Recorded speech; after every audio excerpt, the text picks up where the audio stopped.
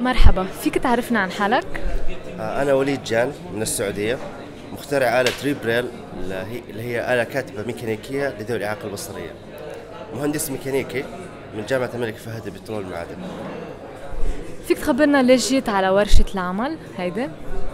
أنا جيت على الورشة هنا آه، عشان أبغى أحاول إني أدي كل طاقتي أو كل المعرفة اللي أنا عندي وأشاركها مع زملائي في إنه نطلع حل كويس. ل- لأحد المشاكل الموجودة في- خصوص الصحة. في عندك هلأ فكرة سريعة فيك تشاركنا فيها آه، ننطر لبعد ورشة العمل لنكتشف؟ والله أنا أفضلك تستنوا عشان تصير مفاجأة أحلى. أوكي. شو المشاكل اللي متوقع تواجهها كانت تقنية أو ضمن الفريق أنتم عم تشتغلوا على النموذج الأولي؟ ممكن بعض المشاكل اللي نحن نواجهها إنه ما عندنا خلفية طبية إحنا.